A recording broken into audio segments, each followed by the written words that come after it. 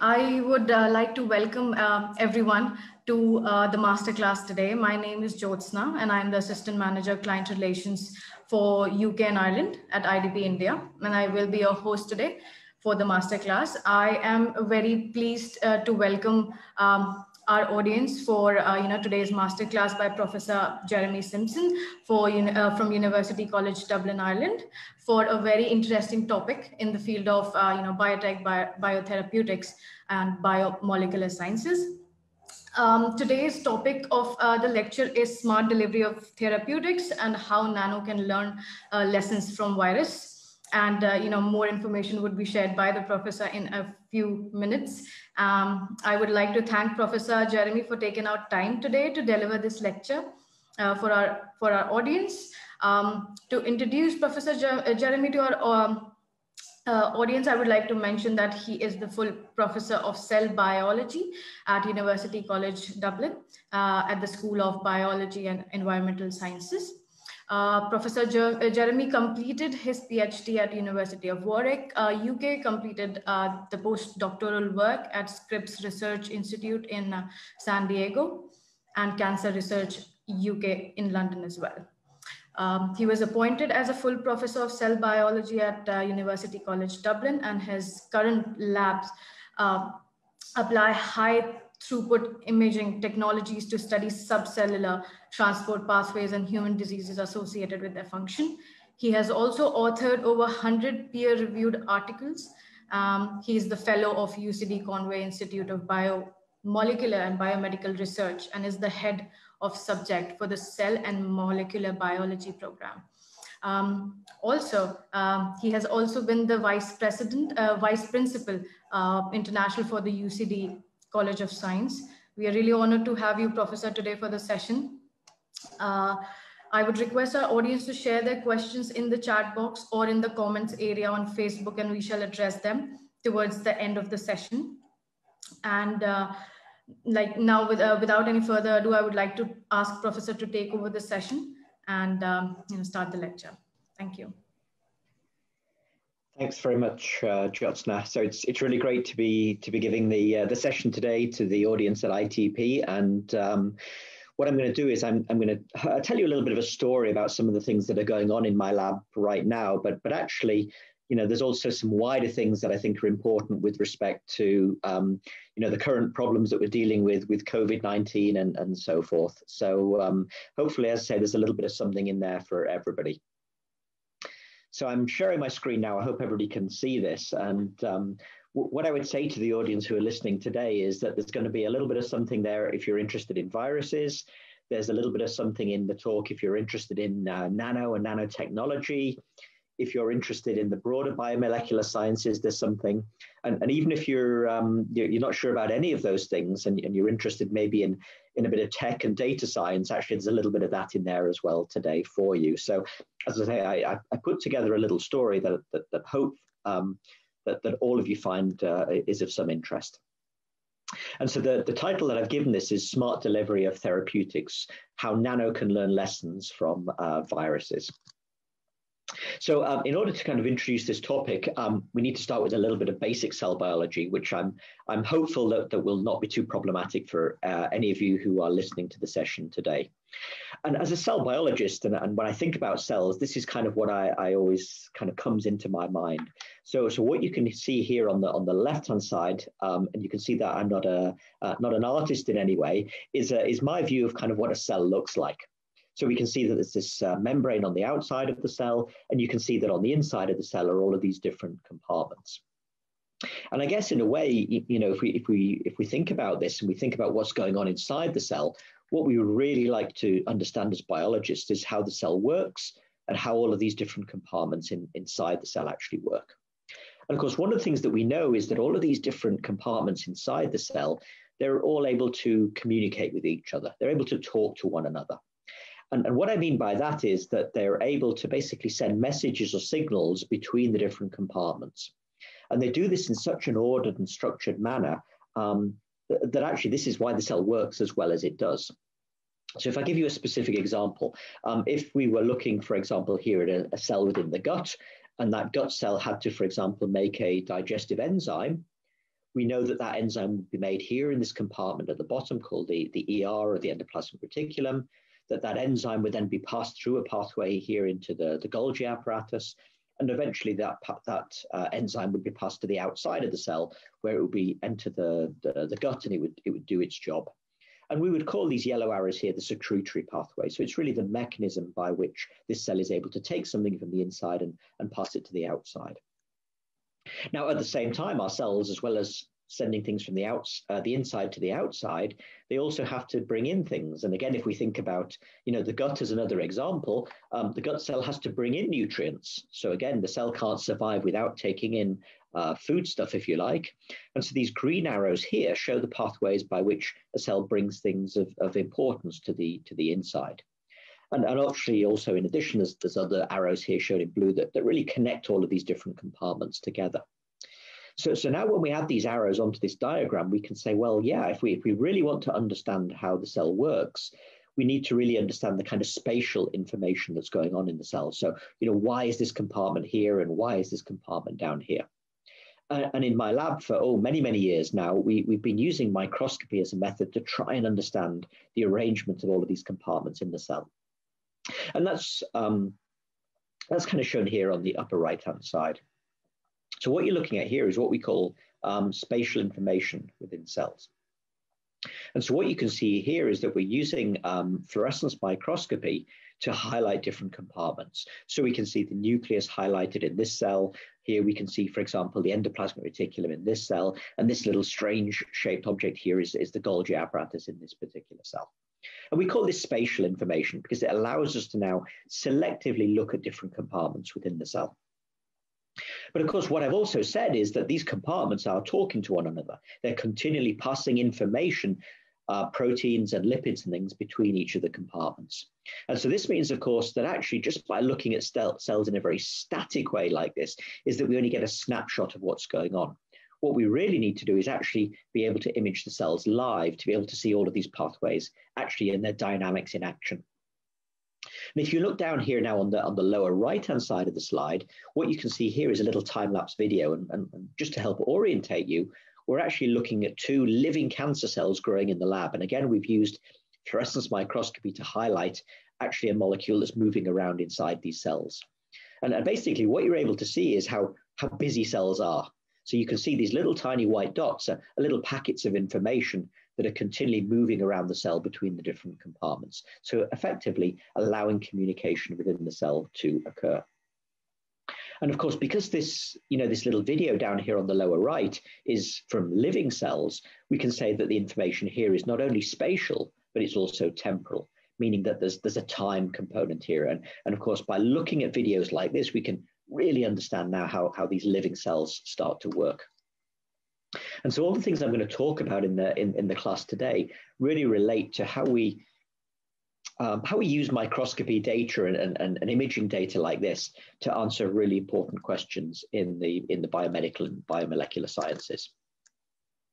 Now, of course, there's one big problem with working with microscopy data like this, and that is that um, cells all look a little bit different. Again, you could already see that from the, the videos that I showed you. And of course, if we're really going to carry out our experiments in a really meaningful way, um, while it's great to make these beautiful little movies and make pretty pictures, and, and I, you know, I, I, love making pretty pictures of cells like you see here, um, it's also important that we're able to extract really meaningful quantitative data from, from these kind of experiments. So what do I mean by that? Well, again, if you look at this, this example here on the, on the upper left, we're looking at two cells. And what we've done in this experiment here is we've labeled the, the nuclei of the cells with a blue dye here. We've labeled one compartment with a green dye and another compartment with a, with a red dye. So, so we can see these different compartments in cells. But again, if I was to, to pass this image around the class and say, could everybody write down something that describes what these cells look like, I'd probably come up with 100 different descriptions. And so what we need to be able to do is to accurately quantify and measure exactly what is going on in these cells. And, and, the way we do that is we use a very specialized type of, of, of, microscopy that we call high content analysis. That's its technical term, if you like. But, but in a nutshell, what this does is that we it allows us to take these very complicated image patterns like this and we feed them into a, a high powered computer and the computer does all the hard work for us. So what you see now is the computer recognizes that we have two cells in this particular image here. It identifies the edge or the, or the membrane of the cell. It identifies where the nucleus is from the blue signal. And it now looks at all the little red dots and little red uh, green dots, and it's able to identify those. And then the software basically makes some measurements. So we can say how big the cell is, so morphology measurements. We can say how bright are the spots, where are those spots within the cell, et cetera, et cetera. So in fact, what, what we actually get out of an experiment like this is, is as well as getting the very beautiful pictures, the very beautiful images, is we get very large Excel sheets with lots of tables of numbers that really describe in, in high detail exactly what's going on in these cells. So of course, in order to, to be able to do this, um, we, we need some really quite fancy microscopes to do this. And, and in my lab, we've, we've, got a whole suite of different microscopes, um, but, but probably the two that are most important are these two systems down here. And again, I'm going to explain in, in a little bit later in the class today why these two microscopes are, are particularly important for the kinds of experiments that, that we do in the lab and how we use these microscopes to actually extract um, data like this. So let's come back to the problem. We, we want to understand really how cells work, and we want to understand how um, all these different compartments in cells are organized, and we want to understand these different trafficking pathways. And I'm going to say for oh, at least 20 years of my life, that's that's what I've been devoting my science and research to is, is to understanding these different arrows today. And, and again, I've just put up a, a few kind of key pieces of work that we've carried out over recent years that, are, that, that have addressed this. And today what I'm really going to focus on is, is these green arrows here. So I'm going to talk about um, some, of our, some of our work that, that looks at, at this mechanism by which nano carriers are internalized into, into cells. So um, the first part, I'm, I'm, going to talk about this and talk about some, some experiments that we've done using kind of conventional uh, cell culture models. So why do we do this? Well, well, here's the problem, and, and you know this is a big problem. It's not just faced by by me. It's not just a problem of Ireland. It's it's a global problem. And in fact, it's a problem that really any pharmaceutical or, or medicine or drug that is designed it faces. And that is that when we take that drug or that pharmaceutical and we, for example, swallow it, that drug goes into our stomach, and eventually that drug is absorbed by typically our bloodstream, and the bloodstream then takes that drug all around the body Uh, and our bloodstream and our whole circulatory system is really excellent at distributing drugs around the body. There's no doubt about it. It's, it can take drugs to the tips of our fingers, to the tips of our toes, every corner of the body.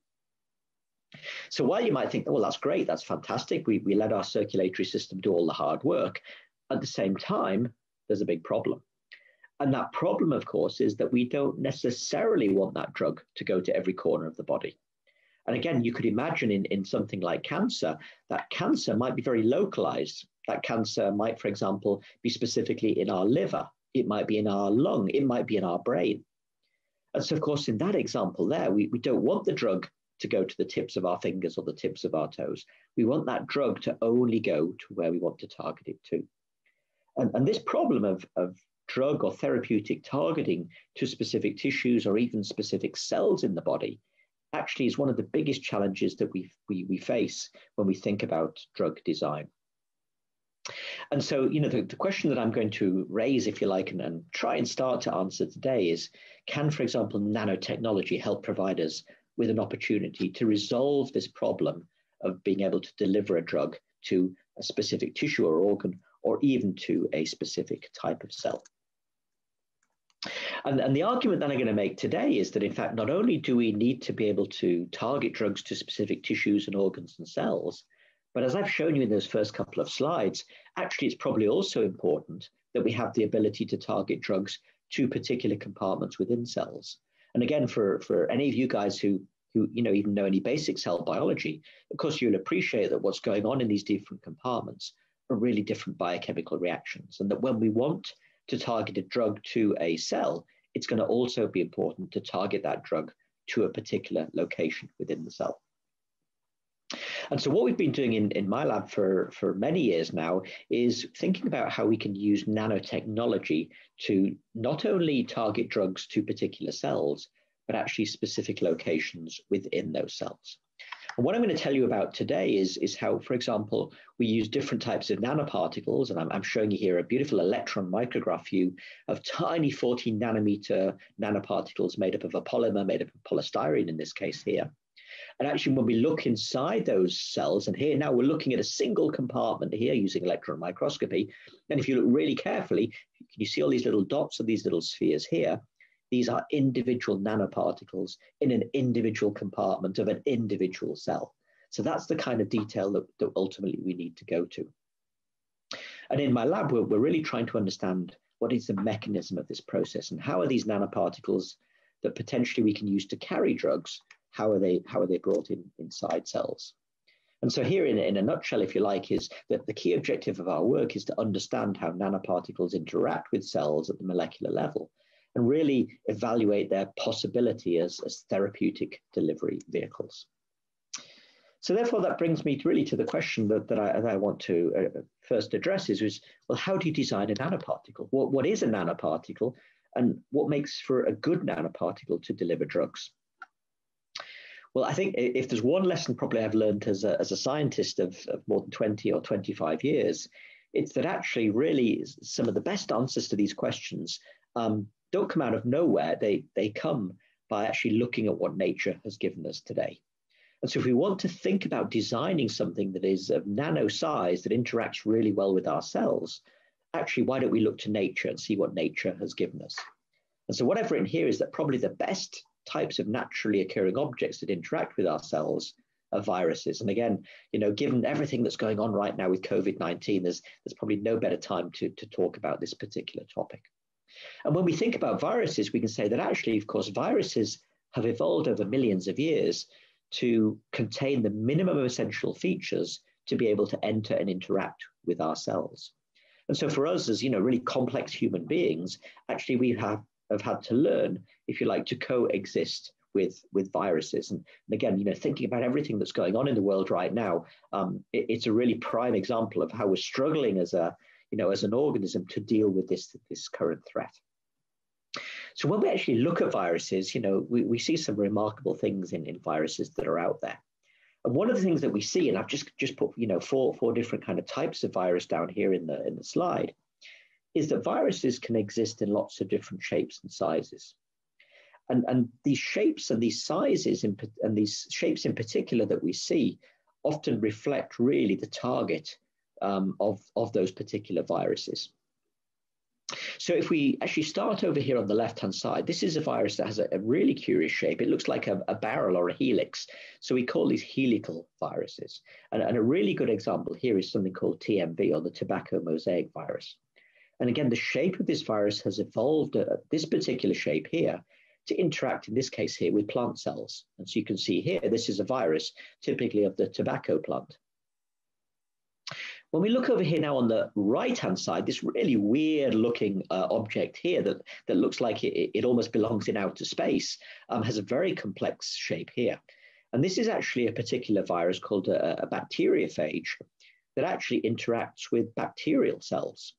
And actually, in this case here, the reason why this has this really unusual shape that you see here is that this virus is able to, to dock down, if you like, on a bacterial cell. So almost like a, kind of a lunar landing craft docking down on the moon. And it uses these little feet here to sit down on top of the outside of the bacterial cell. And then it basically kind of squashes down here, it almost like puts its puts its backside on the on the side of the bacterial cell and then what it does is it injects its DNA into the bacterial cell and delivers its cargo there. So again, a really, really unusual shape, really unusual features in this particular bacteriophage to again deliver its cargo into the host cell. Now, the two, the two viruses that I've left here to, to last uh, is kind of last but not least. Here we're looking at a, a, really beautiful structure that nature gives us here, this polyhedral structure. So this series of triangles that are all put together to give this, this, this very, very beautiful pattern here. And in this case here, this is a, a type of virus called an adenovirus. And again, this is a very common type of virus that we, that we find and is really well suited to infecting uh, human cells. And then finally here on, on, the, on, on the right of the polyhedral virus is a virus structure that is a little bit more spherical. And in this case here, uh, I'm actually showing you what the flu virus looks like, the influenza virus. But of course, I could really easily have, have, have put coronavirus in here. This is also a spherical type virus over here. And these two types of viruses here, polyhedral and spherical viruses, are really well adapted to, uh, to interact and enter human cells. So now let's actually think about well, what are these virus particles made of? Well, again, if we kind of strip out the, the really complicated science, we could probably make an argument that, that viruses like this have really three key features. So the first of those features is their size. So viruses are, are actually remarkably similar. All, all the viruses I've talked about are remarkably similar in size.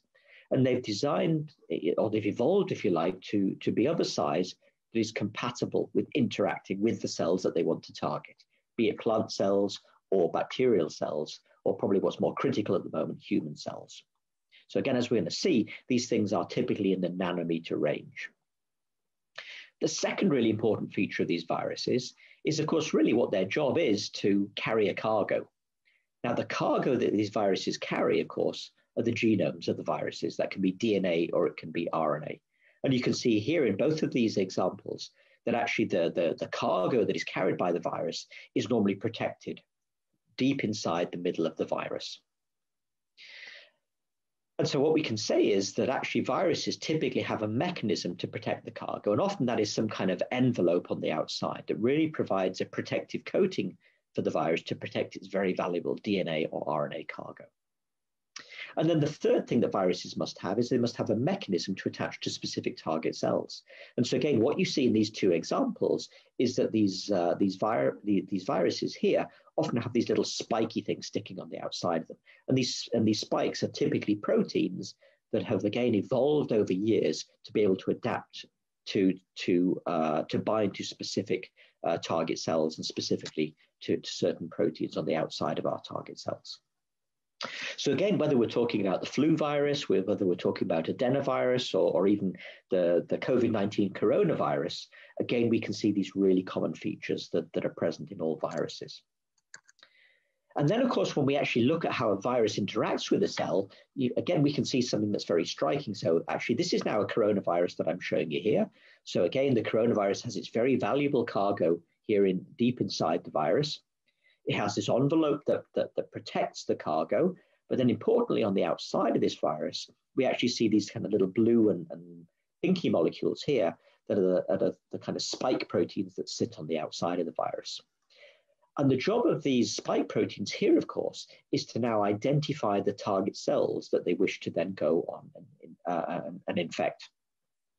And actually, when we look at our cells, and here we're looking now at the plasma membrane of a, of a human cell here, one of the things that's quite remarkable about the outside of these cells is that our cells contain all of these different, um, typically glycoproteins.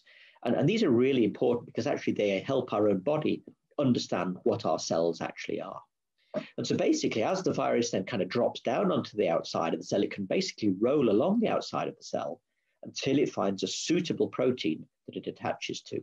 And again, what we know now for, for example, for COVID-19 is that one of these spike proteins here has learned or has evolved, if you like, to be able to specifically uh, interact with a, a, really important protein on the outside of our of many of our cells. It's called the ACE2 protein. And this, this interaction now between the, the, the, the spike protein of the virus and now the ACE2 protein here is like a lock and key mechanism that allows then the virus to interact with our cells. And again, you know, we can look at many other examples of viruses that, that have learned this ability to interact with specific cells in our body. And then, of course, once this interaction has been made, well, then what happens is the virus then basically almost tricks the cell into being internalized into the inside of the, of the target cell here. So again, we're looking now at the, the life cycle of, of, of the coronavirus, COVID-19 here. So you see it's binding to its, its ACE2 receptor here on the outside of the cells. It's then being internalized into the cells. And then basically what happens is, is that the, the, the virus takes over a lot of the key machinery in the cell it encourages the cell to actually replicate all its own genome. And then it's the, the, probably the cheekiest step of all, really, is this last step here, where it actually uses the internal membranes and, and compartments of the host cell to actually then rebuild more copies of itself. And it then, once it's made lots of copies of itself, it uses the host cell machinery to expel these to the outside. And so you can imagine here, when you look at this diagram, that a single virus particle that enters the host cell could end up in making, let's say, 100 or 200 copies of itself that it then expels to the outside and that could go on and, and infect other cells. So it's, it's, really quite a remarkable process that, that we're looking at here. And, and you know, really, we can we can say that viruses are almost the, the perfect hijack materials here, hijacking our host cellular machinery to replicate them, replicate themselves by using the, our own internal compartments of membranes that we find inside our cells. So let's come back to the, to the problem here. So how do we use this information now to, to design, you know, smart drugs of the future? Well, nanoparticles that I'm going to talk about now are nano-sized objects that are actually in the same size range as viruses. So if we look at this little schematic here, we'll start here on the right. Here's a tennis ball. So you guys all know what a tennis ball looks like. And if we measure a tennis ball, not in centimeters, but in this really strange measure down here, nanometers, we can say that a tennis ball is about 10 to the 8 nanometers in size. Now, if you look at something a bit smaller, like a grain of salt, you can just about see that on the tip of your finger. That's about 10 to the 6 nanometers. A cell is between 10 to the 4 and 10 to the 5 nanometers, and viruses that we've been talking about are around about 10 to the 2 nanometers. So that's actually about 100, uh, 100 nanometers. And actually, now when we look at basically this size range here, so between 1 and 100 nanometers, what we see is that synthetic chemistry is able now to design for us lots of nanoparticles in this size range that is very similar to the size of a virus. And here at the bottom, you see different classes of nanoparticles really based on different materials. So here, for example, is a lipid-based uh, nanoparticle, something called a liposome. Here's a polymeric-based nanoparticle based on this kind of dendrimer structure here. And we can build nanoparticles out of metals such as gold, for example. Now, why are nanoparticles useful? Well, again, thinking about what, what I've said in terms of how a virus is built, well, we could think about designing a nanoparticle in a similar way to actually just simply carry a cargo or, or carry whatever information it is that we want. So if we were really engineering a nanoparticle, we can think about it being engineered to, for example, carry things like um, DNA molecules. So again, just like a virus would carry DNA or RNA, there's no reason why uh, we can't engineer a nanoparticle to carry, for example, DNA or RNA. But again, in the context of what we're interested in here, we're probably most interested in engineering nanoparticles to carry drugs or therapeutics like this. And in fact, what is really remarkable is that in fact, we have now amazing control over how to design these nanomaterials. So as I've already mentioned, we've got control over the material that we use. We can build them out of carbon, out of metals, out of hydrogels, out of lipids, etc., etc we can control very precisely the size. So typically, again, between one and 100 nanometers in size. So again, very, very similar to the size of naturally occurring viruses. We can importantly, we can change the surface characterization of these viruses. And again, you can imagine that's really important because we could use then the surface to carry important targeting information to direct the nanoparticles to particular cells. And again, we have the ability to engineer nanoparticles in lots of different shapes. So again, using the things that we learn, the lessons that we learn from nature to, for example, build, build spherical nanoparticles.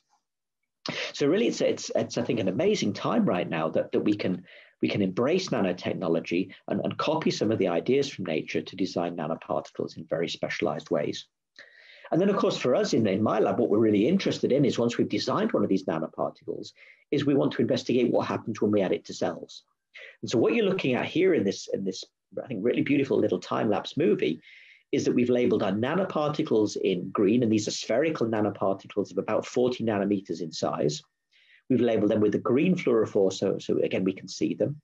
And we've labeled one compartment of our cells with a red fluorophore, uh, and, and, this is specifically the lysosomes. And again, we make a time-lapse movie of this process, and then we, we ask our friends in computer science to do a little bit of, of, of image processing on the data. And that allows us now to produce this beautiful rendered image that allows us now in real time to track a nanoparticle moving through different compartments of a cell. Now, what I think the really kind of clever bit about these movies is that basically what we do is, is we then are able to analyze the cells at different time points. So what you're looking at here now is again a, a, um, a, a number of cells uh, the nuclei are in blue, and in this case here, the lysosomes are in green, and in, uh, sorry, the lysosomes are in green and the nanoparticles are in red. And basically what we're looking at here is over the time course of this experiment, is we're able to now track the nanoparticles binding to the outside of the cells at these early time points here, passing through then different endosomal compartments here, And in this example here, ultimately after three, four, five hours, the nanoparticles reach this compartment here, the lysosome. And of course, using this, this, this technology of, of high content screening and high content analysis, of course, what we do is we ask our computer to actually make measurements of this process. And what we do here is we measure the delivery of nanoparticles into lysosomes over time. So we can produce really nice quantitative data like this. So, so what we really like, uh, what we'd really like to do in my lab now is understand this process in more detail. And, and the way we do that now is by starting to uh, uh, either well, typically what we, we do is we add agents that will interfere with these different trafficking pathways. And actually the, the, the best experiments that we like to do is use something called RNA interference. And so we design specific, what are called small interfering RNAs here against what we think are genes and proteins of interest. So we carry out our experiments, so we knock down individual genes of interest in cells, and we ask really how well are the nanoparticles still delivered into cells. And so basically here you're just looking at a, a, snapshot of, this is about 40 or 50 experiments that we've done here, looking at this particular gene family of interest here. Basically what it allows us to do is to identify genes that are really important for this process. And in this case here, we find four genes that are statistically significant in terms of delivering nanoparticles into the lysosomes of cells. So basically what we have here is a really nice methodology by which we can now take any nanoparticle that we design, we can load it with a drug, and we can measure how well that nanoparticle is delivered into cells. But of course, again, you know, for, for, for you biologists who are listening to the seminar today, um, you've got to now think about, well, how many genes might be involved in that process? Well, I'm showing you 50 genes here, but actually when we look inside the human genome, there are actually about 21,000 genes. So now, as you can imagine, the, the scale of experiment that we'd like to do is really much more significant than just 50 experiments, as I show you here. So the question is, how do we systematically look at 21,000 genes and ask which of those are important for delivering a nanoparticle into a cell?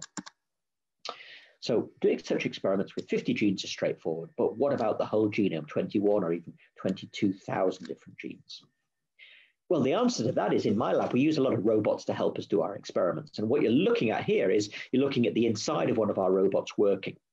And so we've done our experiment here on, a, on what's called a multi-well plate. And in fact, we've done 384 experiments in the individual wells of this uh, plate here.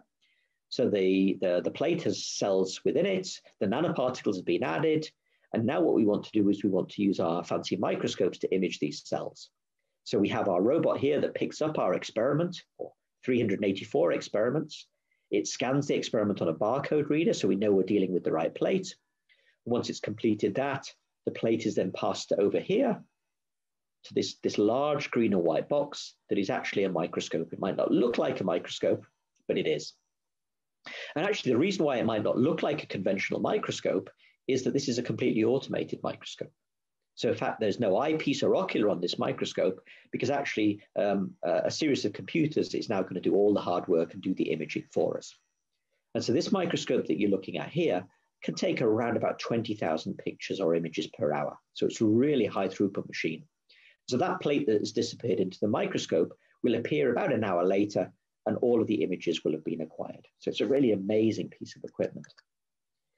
So now let me show you the, the results of that experiment. So in, in, the, in the three minutes that I've been talking, um, we've gone from doing 50 experiments to 22,000 experiments. So what we've done now here in this experiment is we've not we've we've we've taken all 22,000 human genes, we've knocked them down one by one in different wells of a multi-well plate, and now we've measured those genes that are important for delivering nanoparticles into cells, and, and, and here are the results.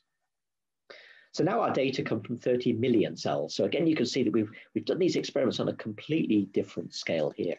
And of course, this is really powerful science because it now allows us to identify actually what are those genes and, and where inside the cell do they work. And again, I'm not going to tell you about all of these results. I'm just going to give you a little snapshot. But you know what, what these experiments allow us to do is, is effectively dissect out how these nanoparticles are able to enter cells. So for example, we one of the things we identified is this really important protein here, something called dynamin 2 that's important in taking a nanoparticle from the cell surface to this first compartment called the early endosome. We've identified something called a molecular motor here that moves the nanoparticle from this compartment to here. We've identified a couple of other proteins here that move a nanoparticle from this compartment to, to, to this compartment down here. So again, if you're interested in this, you can read all about this, the, these experiments in, in, this particular piece of work over here. But, uh, but I guess, you know, the, the, the message from this first part here is that we can use these molecular biology tools and we can incorporate robotics and automation to really now systematically dissect how any type of nanoparticle um, enters a human cell growing in the lab. So, so the second part that, that I maybe just want to spend now the last kind of 10 minutes talking about is really how we try and, and make these experiments a little bit more clever or a little bit more sophisticated.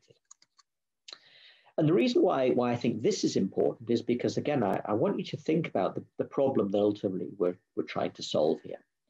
And of course, what we're trying to do is we're trying to understand how nanoparticles carrying a particular drug or therapeutic, how they would be delivered to specific cells in the body. And, and I think really the best example is actually how we would deliver nanoparticles to something like a, a tumor inside the body. So what you can see in this little schematic is you can imagine here, this kind of little brown thing here is a blood vessel. And inside that blood vessel is our nanoparticle. Here it is carrying our really important anti-cancer therapeutic. So that nanoparticle passes through the bloodstream here. It crosses now from the bloodstream into the tissue, and it arrives here at the cancer tumor. And of course, what we've done to this nanoparticle is we've decorated it with some targeting information to make sure that it sticks to this tumor here. But really now what we want to do is understand this process of how the nanoparticle interacts with these cells growing in the tumor and actually understand this again at the level of individual cells. But again, we think our, our, our really fancy microscope over here is potentially one powerful approach um, to study this process. Uh, and the reason why is because this is what we call a confocal microscope.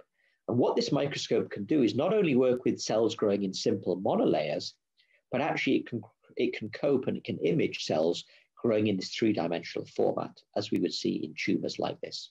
And it can carry out this process that we call optical slicing or optical sectioning, allowing us to look at not just layers of cells, but actually sheets of cells within very complex assemblies like this.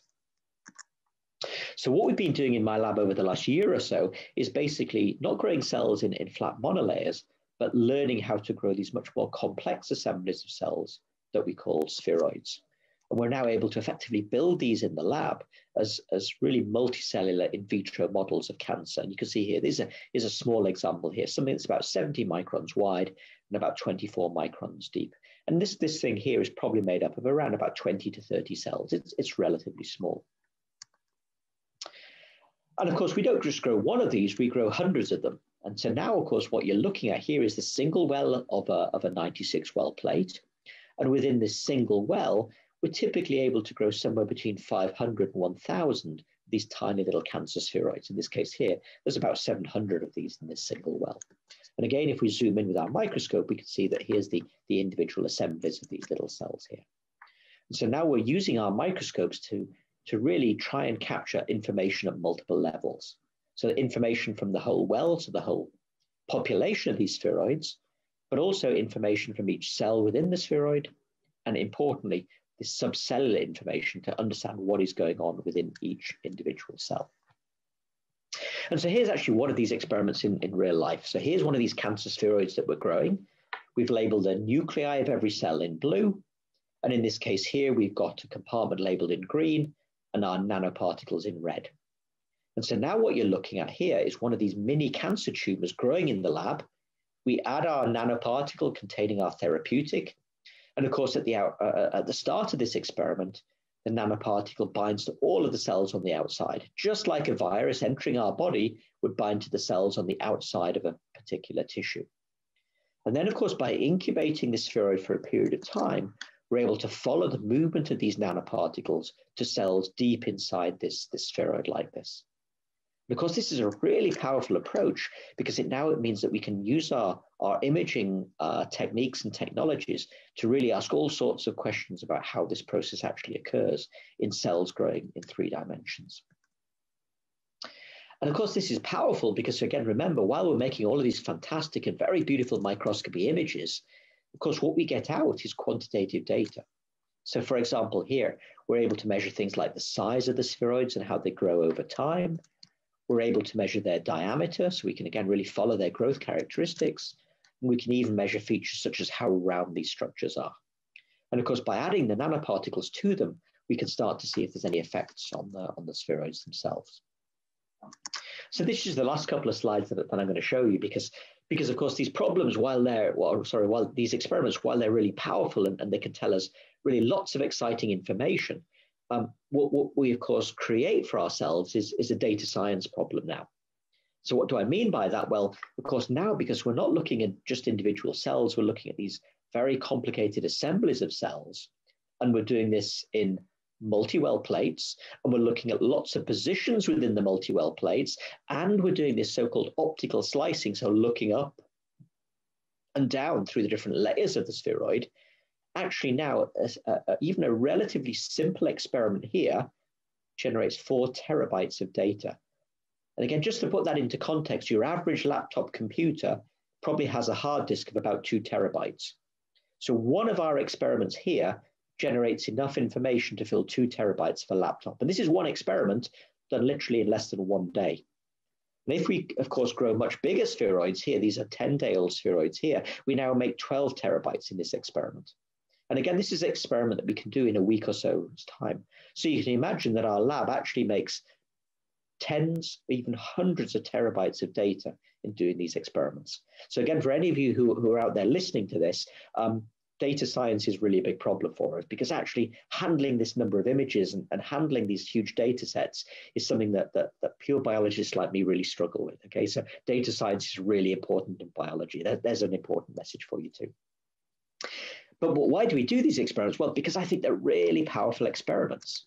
They're allowing us now to really study this process in three dimensional cell models as to how nanoparticles actually bind to cells and how they enter them. By using our really sophisticated uh, software that, that we have, we're able to track this process in, in, these, in these tumors in real time. So again, here, what you're looking at at the bottom, the, the white or the gray here shows where the nanoparticles are over time. So here on the outside of the tumor, after three hours, they're starting to enter the outer cells of the tumor. By eight hours now, they're starting to enter the center. And by 24 hours, they're here at the heart of the tumor. And actually, what you're looking at here is also something that would look very, very similar if this was a virus instead of a nanoparticle. And so, again, what we're able to do now is, is track this process in living spheroids in, in real time. And, and, the, and, the, and the experiments that we're working on really right now is to try to block this process and to try and understand how this process actually works.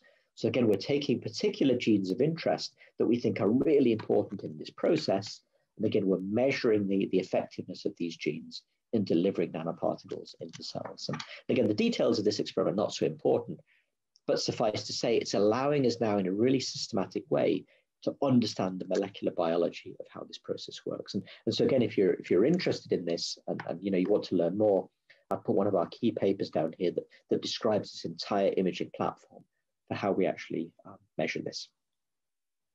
So hopefully you've, you've, you've thought this is kind of quite exciting. Um, what have I told you today? Well, I've told you that, that, that for us, um, these automated imaging and, analysis pipelines are really powerful tools for us to understand fundamental problems in, in biology. And, and the story I've told you about today is how we've developed a system to really measure how nanoparticles you know, are able to cross cellular layers in three dimensions. Um, what we also do is, is we try and do, I think, also really cool things is that we're also working on technology here to allow these spheroids to, to behave much better. So we're actually making little arrays or grids of these spheroids in, in the bottom of multi-well plates. And there's a lot of really cool things as to why that, that, that is an advantage to us. Um, I, am also in a way want to persuade you that, that imaging and microscopy is, is an amazingly powerful tool for us to understand, you know, biomolecular sciences. And, and that actually you can apply these technologies here to really understand lots of different important questions, you know, in terms of the biology of disease and, and, and infection. Um, so I'm just going to finish by maybe saying a couple of other things. You know, uh, hopefully you got the impression that I'm, I'm really excited about science, and, and I think that particularly you know the biomolecular and biomedical sciences can answer really important questions. And and here in UCD, I, I think we do really cool science. Um, I'm speaking to you today from our O'Brien Center for Science. Um, we've currently got about 5,000 students studying science degrees with us. And, and you know, that, that's an amazing community and a diverse community um, that, that I think is, is powerful when brought together to answer really big questions. And actually, here within the College of Science, we've got over 100 different nationalities represented. So it's a really diverse group of students who are, who are doing this kind of cool science.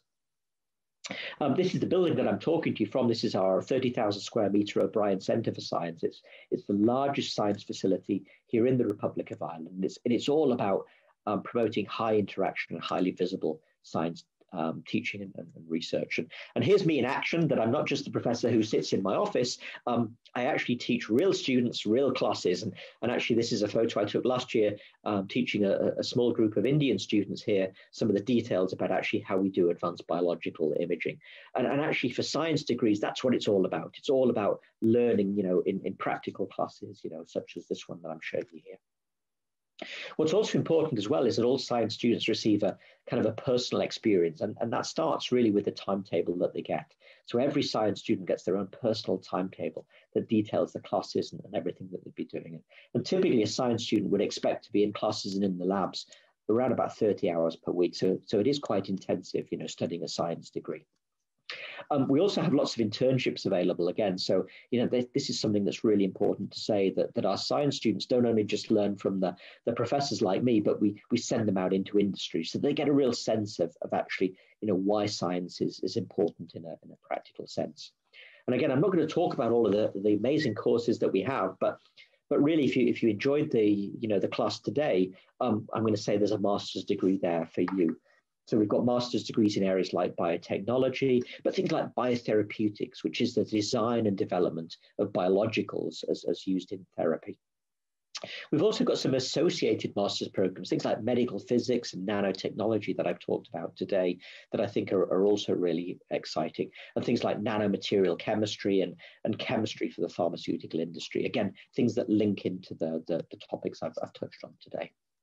And of course, what you do with a science degree? Well, it opens, I think, a, a range of different career opportunities. And, and, again, we're really lucky here in Ireland that we've got all top 10 of the, of the big uh, global pharmaceutical companies. And again, thinking about COVID and everything that's going on now, there's probably no better time to, to be thinking about, you know, life science degrees and chemical science degrees, you know, for your, for your future.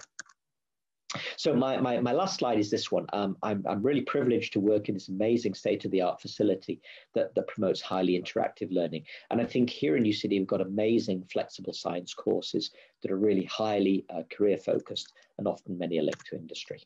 And with that, I'm going to say thanks very much for listening to the, the masterclass today. And, and I hope you enjoyed the, the story that I had to tell you today. Great. Thank you so much, Professor, for uh, that detailed session. Uh, I mean, it was great to learn about how cells work. And uh, you mentioned that you've been working for 20, 25 years of your life uh, around this field. So it was, you know, a great opportunity to learn from, uh, you know, you today. And uh, specifically, like for me, I hope it was the same for other, you know, audience as well. It was absolutely thrilling uh, to learn more about the types of viruses uh, because we are currently going through a pandemic caused by a virus itself. Um, so um, I'm sure uh, there could be, I'm just gonna check if we have any questions. So we have a question here on Facebook. Um, somebody called Ravi, they're asking, can we see antigenic shift and drift in coronavirus as well? I'm not sure how, how relevant is this, but if you'd like to answer that. Yeah, sure. No, um, so I'm going to say probably the good news at the moment is that we're not seeing a, a large amount of that. So, so what this question is referring to is, is that, um, and I kind of alluded to it, is that viruses actually evolve and change all of the time. Because this is where COVID-19 has come from. It's it's not in a way a brand new virus. Um, what has happened is it's it's effectively evolved from other types of coronavirus. But of course, what happens through this process of antigenic, you know, shift and, and drift is that um, viruses like coronaviruses end up with slightly different surfaces. And all of a sudden, they end up with a surface with those spike proteins on the outside that suddenly have an extra advantage to binding to our cells. And in the case of COVID 19, of course, that's, that's what's happened, that it's made some kind of shift from, for example, we think probably being able to just bind to cells within bats and maybe some other intermediate organism to suddenly being able to bind to human cells. And that's why it's causing all of the problems that it's causing right now. But of course, because you know we've been able to isolate you know um, COVID nineteen you know, from individuals over the last six, seven, eight, nine months, we're able to now very carefully compare if that virus has changed at all. And, and from what I've certainly read in the literature so far, is that the good news is that it's not changed very significantly. And of course, the reason why that is important is that, you know, as and when a vaccine becomes uh, available, that vaccine should hopefully still be effective, you know, against the virus. And the virus hasn't changed, if you like, you know, to, to have different properties from, from the virus that would have been used to generate the, um, the, the potential vaccine. So no, the good news is at the moment, we're not seeing much evidence of that. Great. I hope, uh, you know, uh, Ravi, that uh, answers your question. Um, so I would just like to uh, introduce uh, Surbhi as well, um, who is joining from the India office uh, and is the South Asia manager for Uni uh, University College Dublin based out of India. So uh, if you if you would like to add on to any points, um, I, I like I heard Jeremy, uh, Professor Jeremy talk about a bit uh, of their careers and um, you know how is it like to study at the school, uh, College of Science at the UCD, but if you would like to add on to anything. Um, Surbhi, you're on mute. Thank you so much, Jyotsna. And uh, many thanks, Professor. It was uh, an interesting lecture.